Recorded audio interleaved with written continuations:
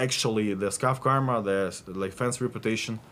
This iteration was the first iteration because uh, we have the second iteration for it with the different kind of features and stuff related to Scav Karma. So we will, we need to wait, and it will be added in 12.12, I guess.